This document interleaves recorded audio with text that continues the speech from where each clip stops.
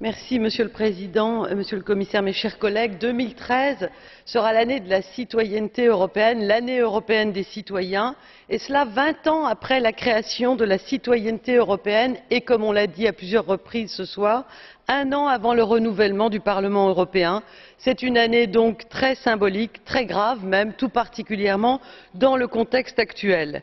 Les derniers sondages montrent en effet depuis l'automne 2009 une tendance extrêmement inquiétante, très perceptible sur le terrain, tendance à la perte de confiance notable, très forte, euh, dans euh, l'action et l'acquis communautaire, notamment en matière même de droits et de libertés au sein de l'Union européenne. Face à cela, la question principale a toujours été et demeure celle de consolider une identité européenne, de réussir un sentiment d'appartenance commun, de réussir véritablement à dessiner les contours de ce citoyen européen pour tous les Européens.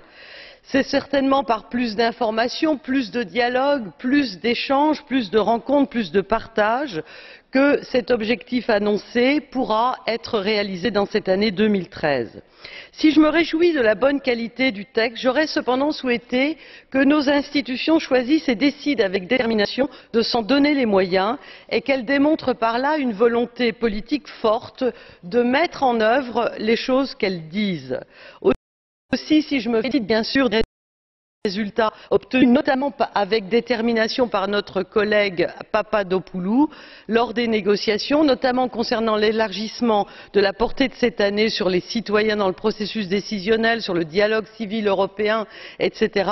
j'ai une forte réserve qui concerne le budget ridicule alloué à cette année européenne le plus petit jamais donné à une année européenne alors que la tâche est immense.